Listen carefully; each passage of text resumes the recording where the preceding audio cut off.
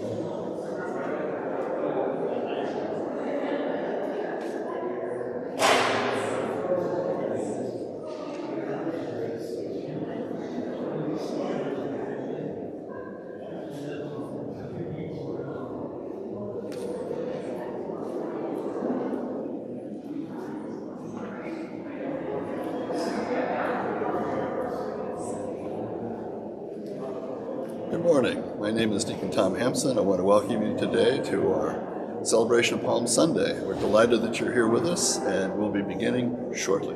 Thanks so much.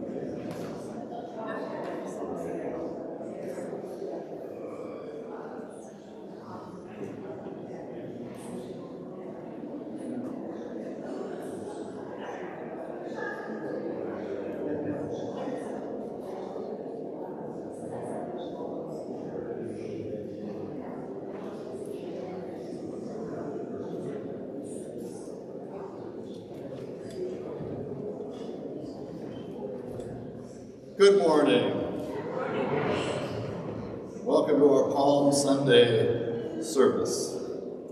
As you know, Palm Sunday is the beginning of Holy Week for us. And uh, Holy Week is about reenactment. It's about us going step by step with Jesus to Jerusalem and on the way to the cross and beyond. It's a dramatization. And so we're going to dramatize one part of that today in a couple of familiar ways. We're going to be distributing palms and having our sort of smallish palm procession out the back of the church, around the corner, back in here, recalling that moment in the life of Jesus when he entered Jerusalem in triumph. And then a few minutes after that, we're going to have a dramatic reading of the Passion of Jesus. A word about that reading. As you probably recall from other times when you've heard it, frequently there is the statement, the Jews said this, or the Jews called out that. And I want to be clear, that story in the Gospel of John that we will reinvigorate and, and relive this day has a very unhappy history. Holy Week was, for centuries, one of the most common times when crowds would attack synagogues and murder Jews throughout Europe, inspired by this reading. So I just want to be really clear that the, the reference to Jews in this reading is not really about all Jews. Depending on the context, it could be the Jewish authorities at the time. It could be Jews who were potentially followers of Jesus. And of course, Jesus was a Jew. All his disciples were Jews. St. Paul was a Jew. So, as we set out on this journey, I want to make that very clear. That we don't want to further reinforce uh, a stereotype that is not only false, but has been so profoundly destructive for centuries. And with that, it's time for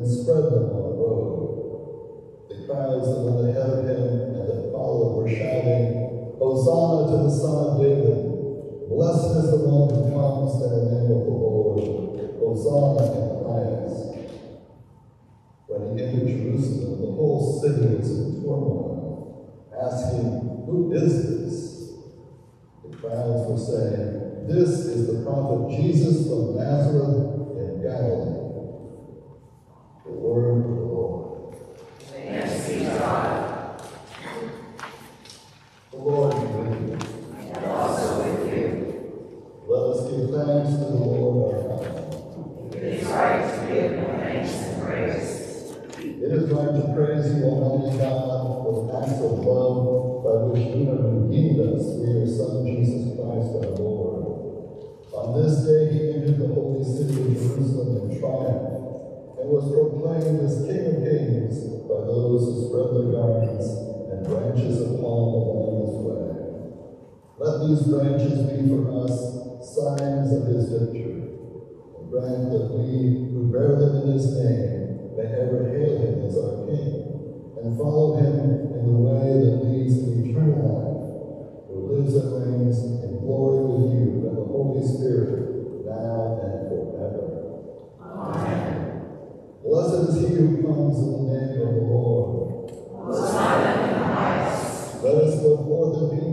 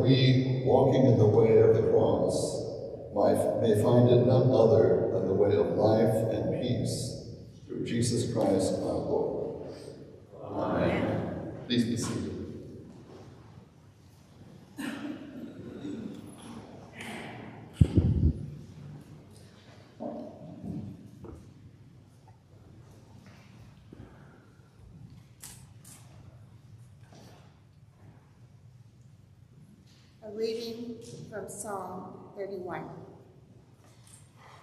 I'll ask you to join in after the asterisks. Have mercy on me, O Lord, for I am in trouble. My eyes consumed with sorrow, and also my throat in my belly.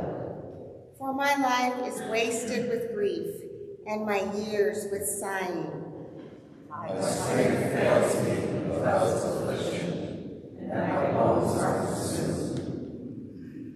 I have become a reproach to all my enemies, and even to my neighbors, a dismay to those of my acquaintance.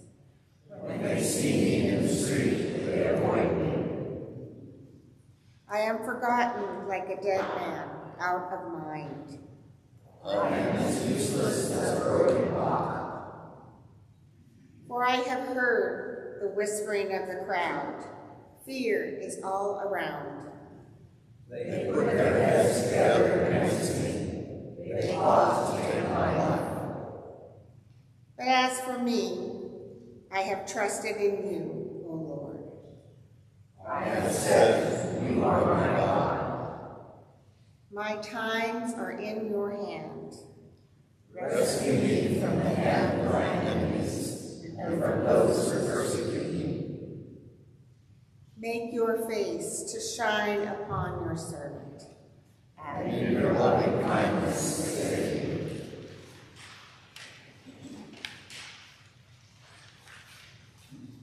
A reading from the book of Isaiah.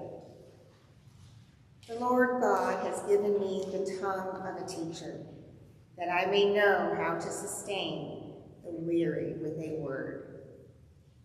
Morning by morning he wakens wakens my ear to listen as those who are taught.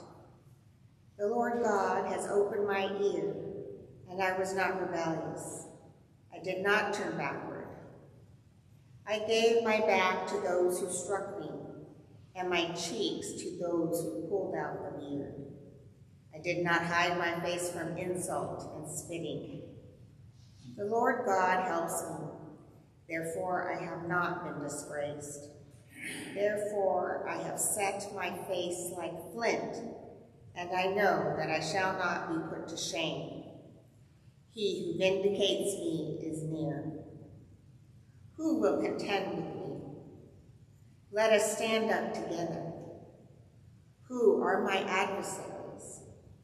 Let them comfort me. It is the Lord God who helps me. Who will declare me guilty? the word of the Lord. Thanks be to God.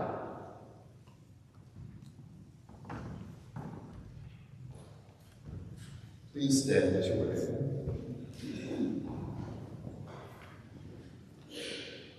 Together, let us recite this canticle from the Song of Lamentation.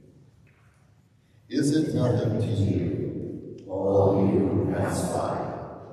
Look and see if there is any sorrow like my sorrow, which was brought upon me, inflicted by God's great anger. For these things I weep, my eyes flow with tears, for a comforter is far from me, one to revive my courage. Remember my affliction and my bitterness, wormwood and gall, the steadfast love of God never ceases. God's mercy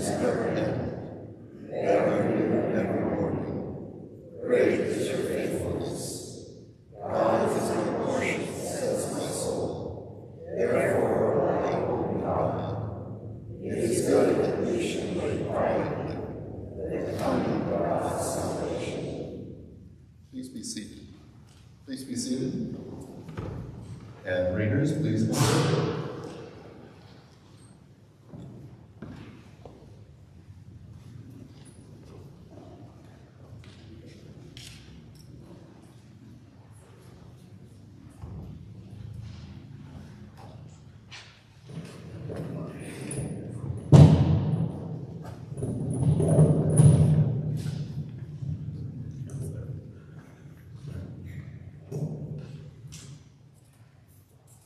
Passion of our Lord Jesus Christ, according to St. Matthew.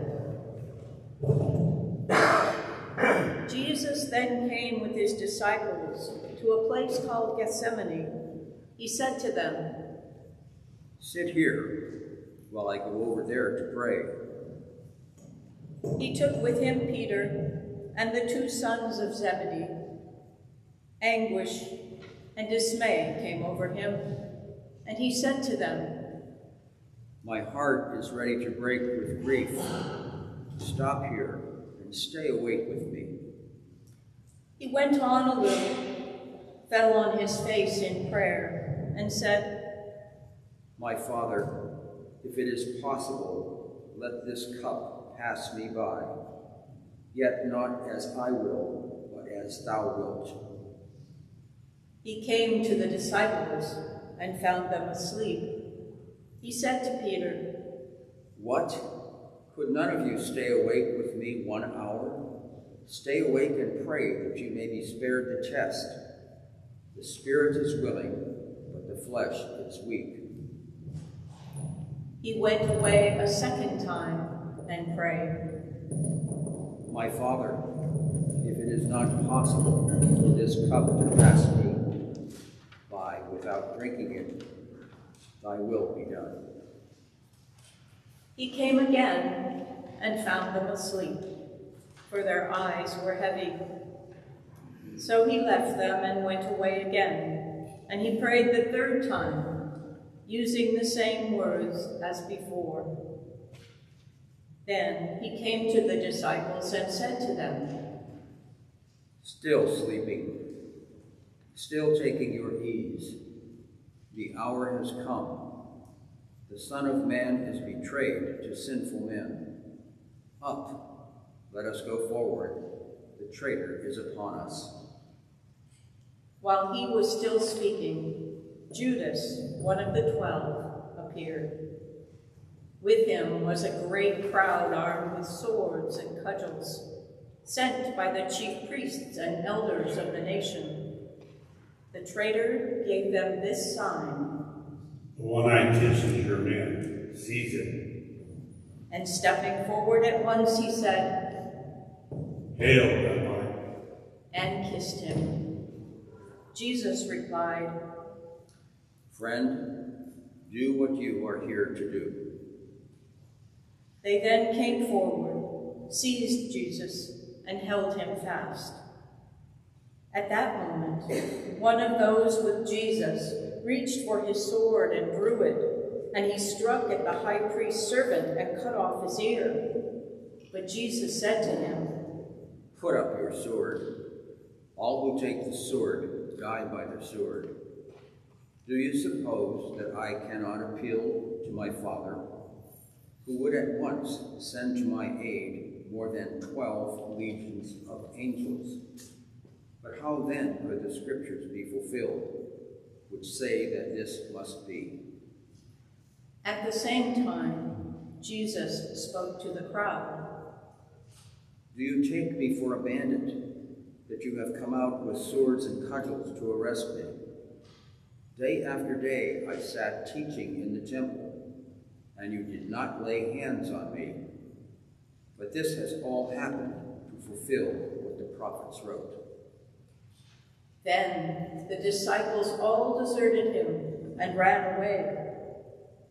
Jesus was led off under arrest to the house of Caiaphas, the high priest, where the lawyers and elders were assembled.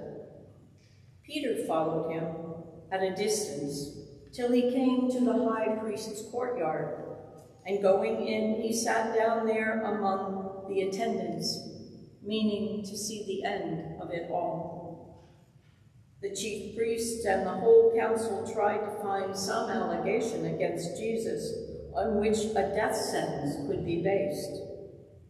But they failed to find one, though many came forward with false evidence.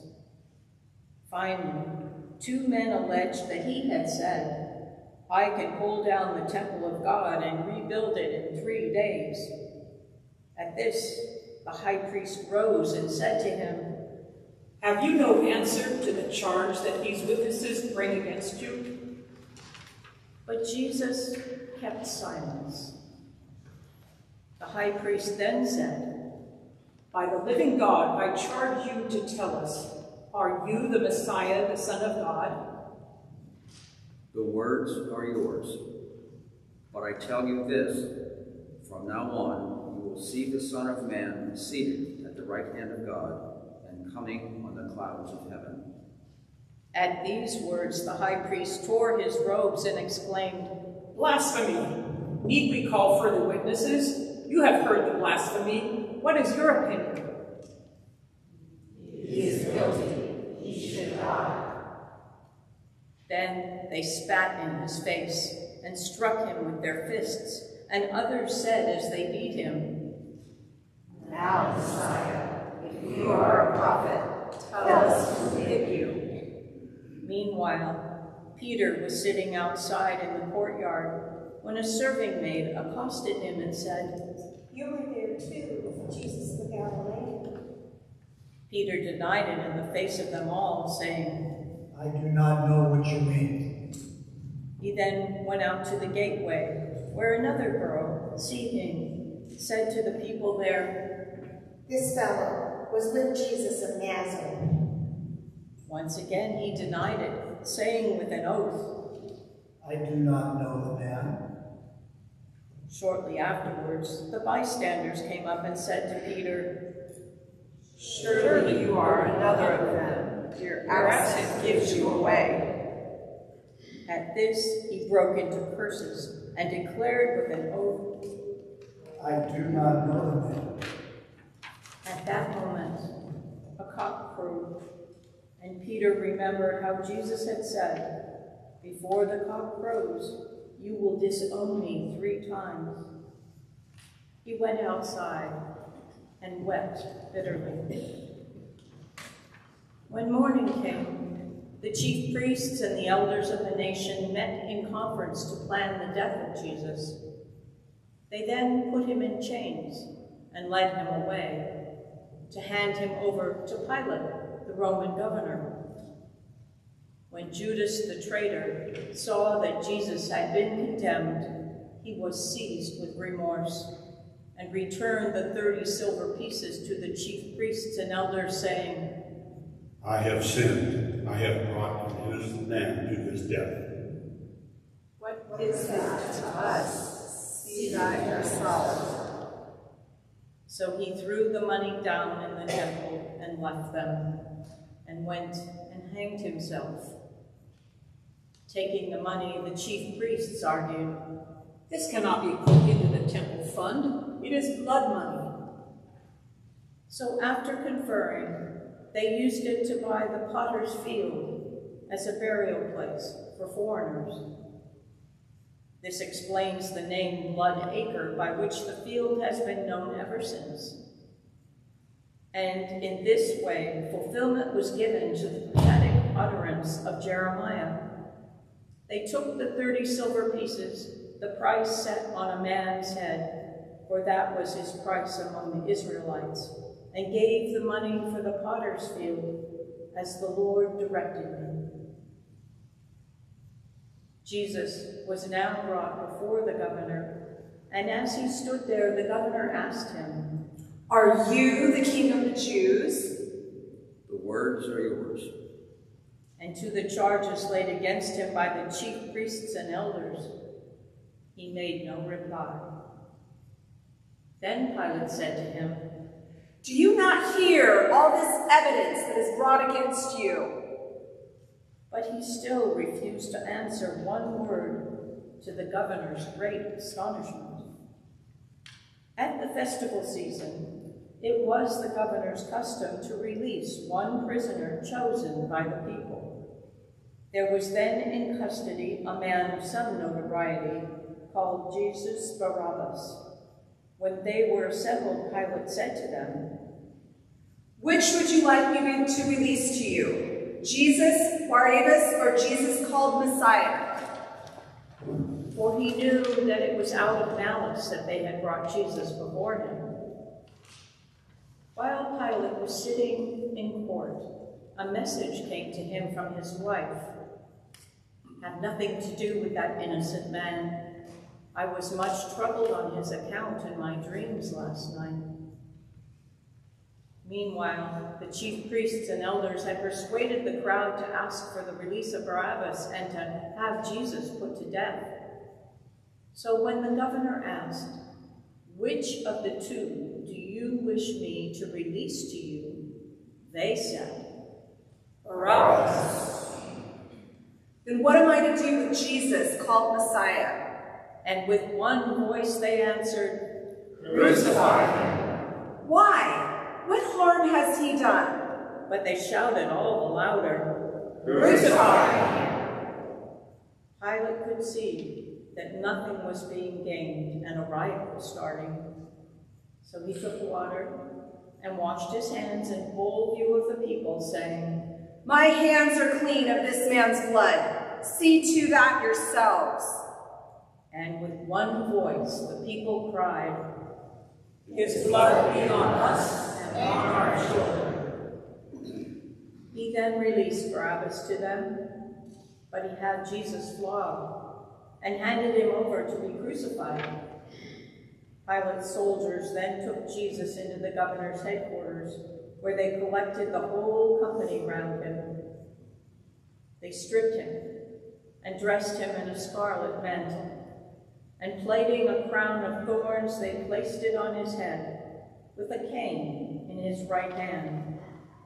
Falling on their knees before him, they jeered at him. Hail, King of the Jews! They spat on him and used the cane to beat him about the head.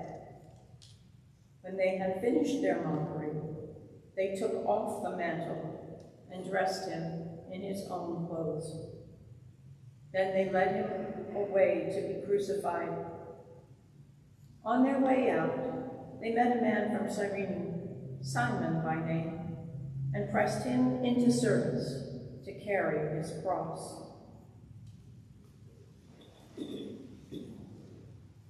So they came to a place called Golgotha, which means place of a skull. And there he was offered a draught of wine mixed with gall. But when he had tasted it, he would not drink. After fastening him to the cross, they divided his clothes among them by casting lots, and then sat down there to keep watch. Over his head was placed the inscription, given the charge, This is Jesus, the King of the Jews. Two bandits were crucified with him, one on his right and the other on his left. The passers-by hurled abuse at him. They wagged their heads and cried, You would pull the temple down, you, and build it in three days. Come down from the cross and save yourself, if you are indeed the Son of God. So too the chief priests with the lawyers and elders mocked at him, saying, He saved others, but he cannot save himself. King of Israel indeed. Let him down now from the cross, and then we will believe him. Did he trust in God? Let God rescue him if he wants him, for he said he was God's son. Even the bandits who were crucified with him taunted him in the same way. From midday, a darkness fell over the whole land, which lasted until three in the afternoon. And about three, Jesus cried out loud, Eli, Eli, lema sabachthani. which means, My God, my God, why hast thou forsaken me? Some of the bystanders on hearing this said, He is calling Elijah. One of them ran at once and fetched a sponge, which he soaked in sour wine, and held it to his lips on the end of a cane. But the other said, Let us see if Elijah will come to save him. Jesus again gave a loud cry and breathed his last.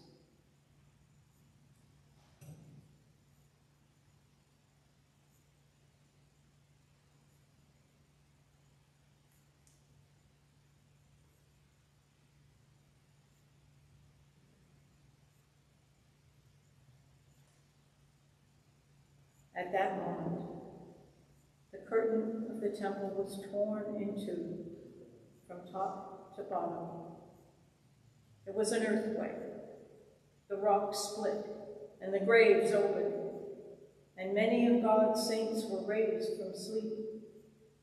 And coming out of their graves after his resurrection, they entered the holy city, where many saw them.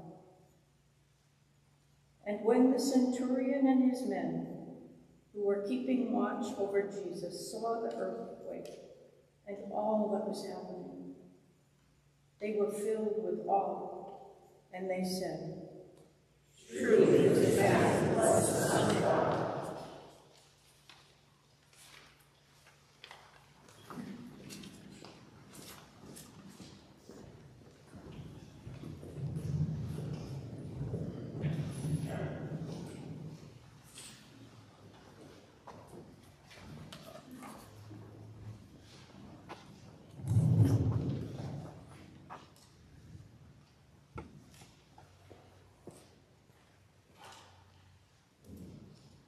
Wow, what a day. I don't know about you, but I feel like I have whiplash, starting from triumph and celebration to crucifixion and death. There's a hymn that you may know called What a Friend We Have in Jesus. And it's all about how no matter what happens to you, Jesus is with you. Jesus is your friend, supporting you, comforting you. If that's the way you want to approach faith for 51 weeks of the year, that's fine. But this week invites us to turn that upside down. To remember that friendship is two ways, and that there are times when you have to put yourself aside be present for your friend who is in trouble. The friend who has just learned that they have cancer. The friend whose marriage has just fallen apart. The friends in the country where the country is falling apart. And the safe life they thought they had built has come unglued, and now they are refugees. What is it like to be a friend of those times? The temptation is there just to turn away. Let's be honest about it. No one likes to watch somebody dying in agony. No one likes to watch a relative descending into dementia and more and more of them disappearing. There's a temptation just to walk away from the hard things in life. It's even a temptation to turn away from the fun things in life. Remembering a friend whose four-year-old son had just about had it by the time his father stood up to be married. And holding his father's pants leg with one hand, he slid down on the floor and fell asleep. that temptation to not be fully present because it's too much for you, more than you can handle. Last night I was at an incredible concert at the Stockton Symphony. If you don't know the Stockton Symphony, come, they're wonderful. But this was a concert of music around the Holocaust. Music that was composed by people in the camps or on their way to the camps. Music that was lost for a number of years and has been recently rediscovered. Music that was also composed about the horror of the Holocaust. The music was incredible, an incredibly moving experience. And you learn from things like that how easy it is to turn away, to go on with normal life because that's what you've got to do. You've got to put food on the table. To turn away from taking the risk. To see the people who are protesting for justice as the ones who are the danger and the disruptors. Friend of mine who was very involved in civil rights protests many years ago is now in a place where um, civil rights are endangered. They support the movement pro-democracy in that area. But when they had to get to a doctor's appointment and there was a protest in the way, what they posted on Facebook was, they shouldn't be disrupting the lives of ordinary people. It's that easy to turn away. It's that easy to say, at the moment, I can't do anything about it, and it's in my way. So the stories that we've heard today, first of all, despite what the church has done with it, the procession of palms wasn't quite the way we celebrated it today. There's a possibility that Pilate and a whole Roman entourage were entering on horseback in armor at the other side of town at the same time that Jesus was staging this. We're not sure if it happened at the same time, but it is pretty clear that it was deliberate mockery of the Roman government. It was planned. It was nonviolent protest. And the words that we say, Hosanna, today they need something similar to Alleluia. But at the time, it meant save us. Save us from the Romans. Save us from poverty. But the people who were following, if you were a friend of Jesus at that point, where were you? Were you the one that got the donkey and brought there, handled some of the arrangements ahead of time? Were you the one who gathered the people who came out who were just curious? They came out of their houses to see what was going on, what all the noise was about, and invited them to come in and join in the procession. Were you the one who saw two Roman matrons? This guy, uh, get, get him out of the way, he's a troublemaker. And did you fear for your best friend and what might be coming? Because you knew that this kind of a protest was a red flag to the Roman government. Wasn't anybody, to anybody's surprise that Jesus was then arrested. That's the way the Romans handle possible insurrections. You find the leader, you remove the leader, and the whole thing falls apart. That's why they didn't arrest Jesus during this procession. Well, they may have been occupied honoring Pilate as he uh, arrived at the other end of town. But they wouldn't have arrested him in front of the whole crowd because that could stir up his insurrection. They would have waited. And in a day where there are no photographs and no DNA and no fingerprint evidence, yeah, they needed somebody to point out the right guy in the crowd because otherwise they all kind of looked alike. And Jesus wasn't the only rabbi going around and preaching and gathering a group of people. He wasn't the only potential insurrectionist in the area. So yeah, they needed somebody to point him out. In this week, we get to be a friend of Jesus. We get to relive so much that we pack into this week. The Last Supper, the time when Jesus blesses the bread and the wine and says, do this in remembrance of me. This is my blood. This is my body. What would that have been like to be there as Jesus' friend at that point? What would it have been like to be Judas, knowing that this was being offered to you, and yet you were going to betray him the next day? Jesus gives his disciples the last commandment. Love one another as I have loved you. as Jesus' friend, what would you have thought about that? You're still caught up in the enthusiasm of what seemed like a triumphal arrival in Jerusalem. You're thinking, it can't really go as bad as I'm fearing. It'd be good. What's he talking about? Surely he'll be with us all the time. Surely God will save them. What is it like to be Jesus' friend at that moment? And Jesus is arrested, and his disciples leave him. They betray him. Just by their absence, they're afraid. It's rational to be afraid in those circumstances. You turn away. And the scene plays out, and Jesus is arrested and tried. And people turn against him. How easy that is.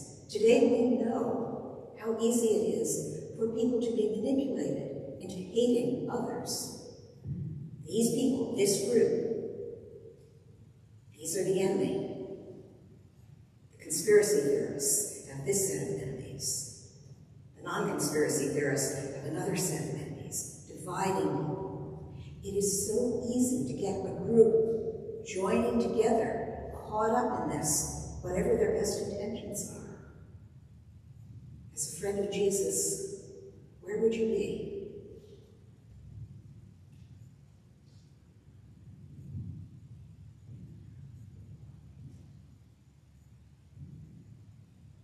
At the Maundy Thursday service, we celebrate, we remember the Last Supper, we strip the altar, and then we have a vigil. It used to be all night. Now it's just till midnight. Some of us like all night. It's not fair. That's another conversation. But comes out Jesus saying to his disciples, wait with me, pray with me, pray for me. And the disciples falling asleep, and Jesus saying, can you not watch just one hour? This is the week when you get to put aside your knowledge that all comes well in the end. You get to put aside all the theories and theologies about why Jesus had to die and what that means for us and what God was doing in the process. This is the week to be Jesus' friend as Jesus is going through the worst week of his life. During the pandemic, many of us had the experience of not being able to see our loved ones in nursing homes, in hospitals. Some of us had the experience of not being able to say goodbye to someone we loved because of the pandemic, not being able to gather together for the memorial service. So we know what it's like to love with your whole heart and not to be able to be present. But this week invites us to be present, to be present to Jesus and through Jesus to the whole world. This is an impossible week. It's not one to take lightly. We will have plenty of time, 52 more weeks of the year, to talk about the good news. Bring your bells on Easter and celebrate with us. This week, let your heart be broken.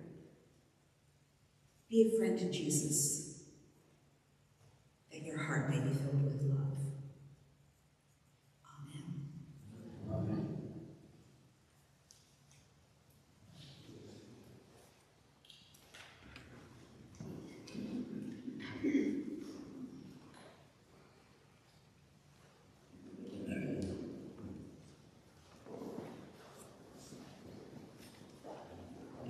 Please stand.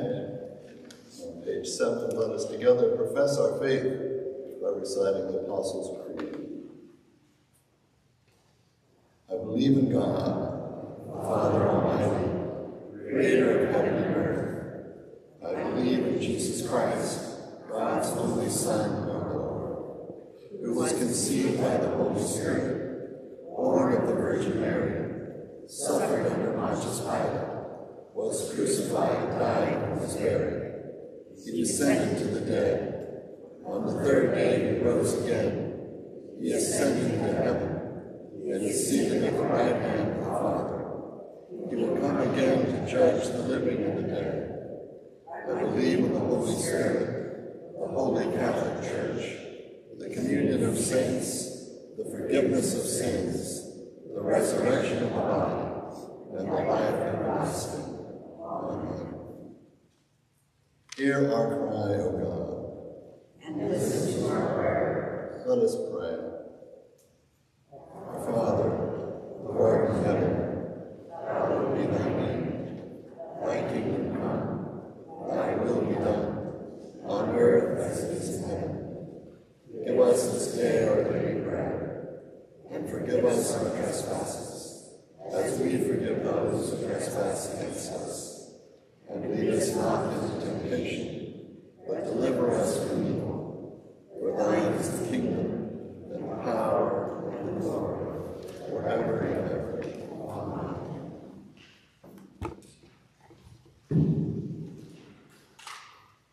Help us, O God, our Savior. Deliver us and forgive us our sins. Look upon your congregation. Give your people a blessing peace. Declare your glory among the nations and your wonders among all peoples. Do not let the oppressed be shamed and turned away. Never forget the lives of the poor. Continue your loving kindness to those who know you, and your favor to those who are true of heart. Satisfy us by your loving kindness in the morning. So shall we rejoice and be glad all the days of our life.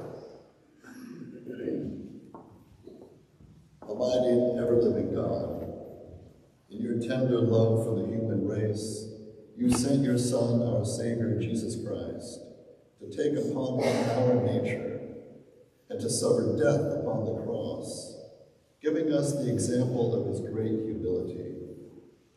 Mercifully grant that we may walk in the way of his suffering and also share in his resurrection through Jesus Christ our Lord, who lives and reigns with you and the Holy Spirit, one God, forever and ever. Amen. Lord Jesus Christ, you stretched out your arms of love on the hard wood of the cross, that everyone might come within the reach of your saving embrace. So clothe us in your spirit that we, reaching forth our hands in love, may bring those who do not know you to the knowledge and love of you, for the honor of your name.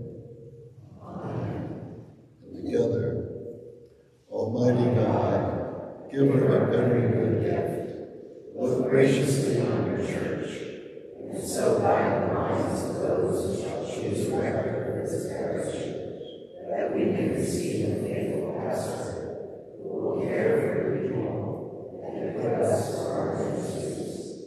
Through Jesus Christ our Lord. Amen. Please be seated.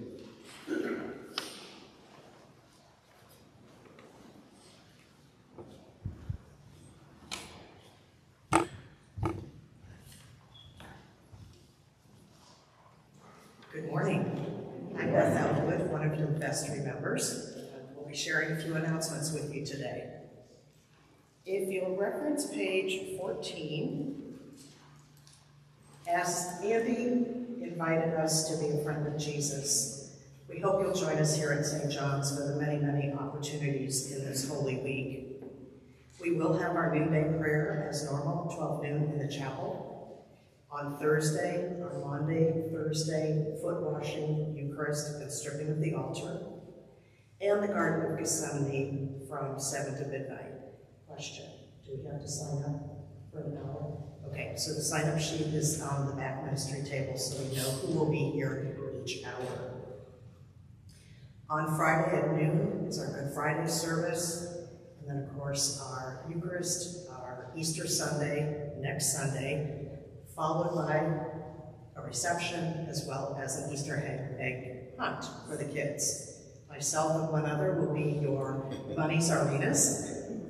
We will lead the kids that are here. We invite you, your neighbors, your nieces, your nephews, come join us. We have lots to egg hunt, and that will be outside these back doors. There are a number of announcements in here which I will not go over, so you are welcome to take your service bulletin, but please return this. Thank you in advance. And one last thing I'd like to share. We'd like you to, on behalf of your vestry, we'd like you to mark, uh, mark, can't even talk, mark April 16th, so two weeks from today on your calendar, to join your vestry following the service for a congregational meeting where we have the opportunity to share very good news. I hope you'll be there.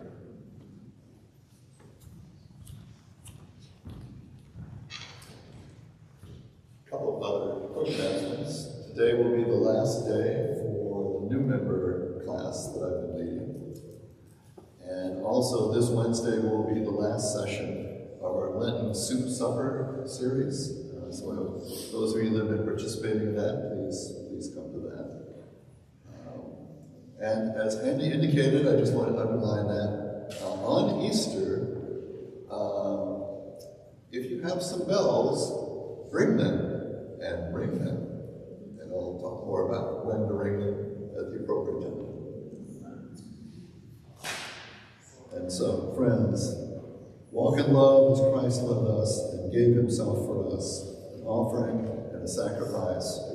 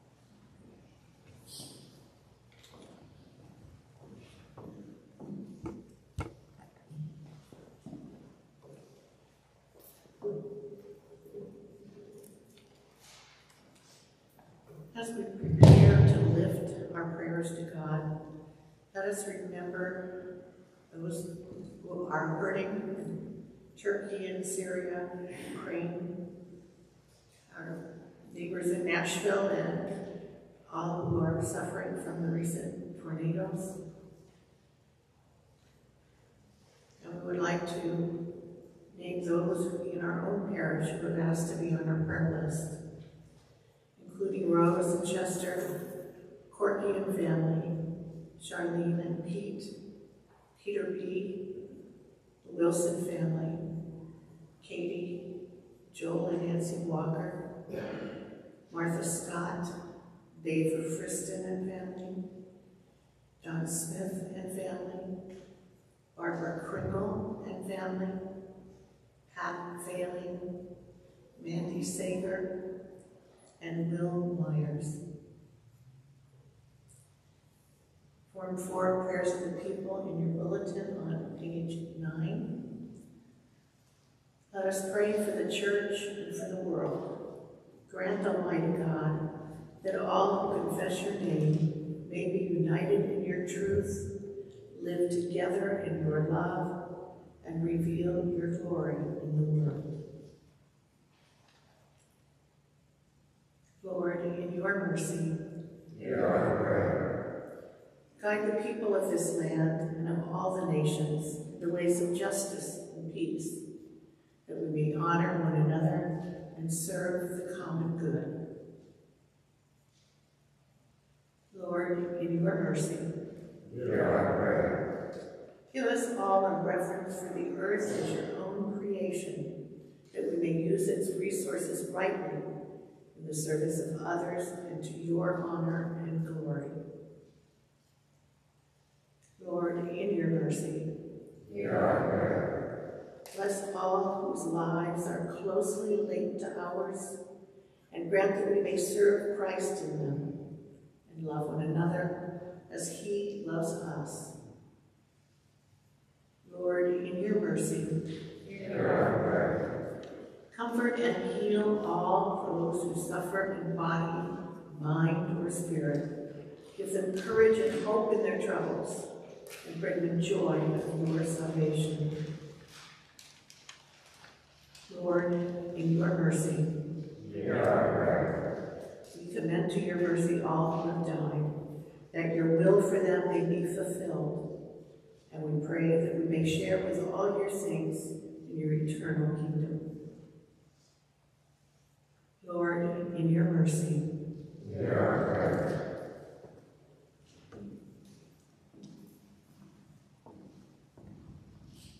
O Lord our God, accept the fervent prayers of your people in the multitude of your mercies. Look with compassion upon us and all who turn to you for help. For you are gracious, the lover of souls, and to you we give glory, Father, Son, and Holy Spirit, now and forever.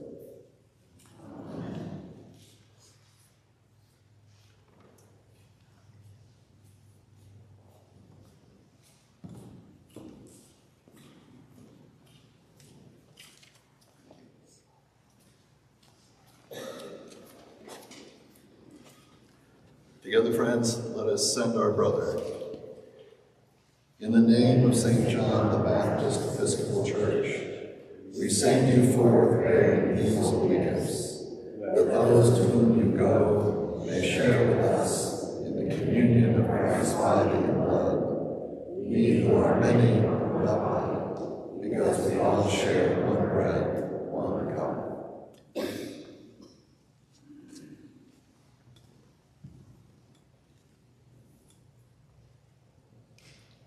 Together, Almighty God, Father of all mercies, we, your unworthy servants, give you humble thanks for all your goodness and loving kindness to us and to all who you have made. We bless you for our creation, preservation, and all the blessings of this life, but above all for your immeasurable love in the redemption of the world by our Lord Jesus Christ for the means of grace and for the hope of glory. And we pray, give us such an awareness of your mercies that with truly thankful hearts we may show forth your praise, not only with our lips, but in our lives, by giving up ourselves to your service, and by walking before you in holiness and righteousness all our days. Through Jesus Christ our Lord, to whom with you and the Holy Spirit be honor and glory throughout all ages. Amen. Let us bless the Lord. Thanks be God. Almighty God, you have given us grace at this time with one accord to make our common supplication to you. And you have promised through your well-beloved Son that when two or three are gathered together in his name, you will be in the midst of them. Fulfill now, O Lord, our desires and petitions as may be best for us, granting us in this world knowledge of your truth, and in the age to come, life everlasting. Amen. Let us bless the Lord. Thanks be God. Glory to God, whose power working in us can do infinitely more than we can ask or imagine. Glory to him from generation to generation in the church and in Christ Jesus forever and ever.